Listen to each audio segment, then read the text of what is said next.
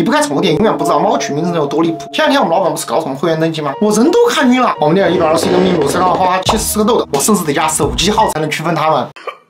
九五四三的咪咪妈，你的猫写好了哟。而如果不加的话，我的猫吗？我的猫吗？我的猫吗？我的猫吗？我的猫吗？我的猫？我的猫。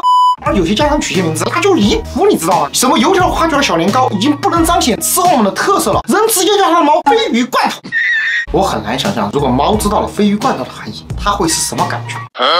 什么？我竟然是这个世界上最臭的东西啊！其实吃货也就忍了，属于个人爱好嘛。但那种碰瓷的，我是真的很难接受。你比如，我们店里有一个叫张德帅的，一个张德美的，然后每次打电话叫他们来接猫，画风是这样：你好，长得帅的爸爸，你的猫洗好了。哎呀，长得美的妈妈，你又来啦！你想他就直说嘛，这样真的好吗？但这不是让我印象最深的。上周我们店里来了一个巨牛逼和贼有钱，那画风，你好，请问是巨牛逼的爸爸吗？你的猫洗好了。然后我看着贼有钱，心里反复思考，要不要给他的妈打电话？哦，对了，在这里跟各位粉丝请教一下，如果一个猫咪的名字叫窝，我应该怎么给他爸爸打电话？总不能叫我的爸爸。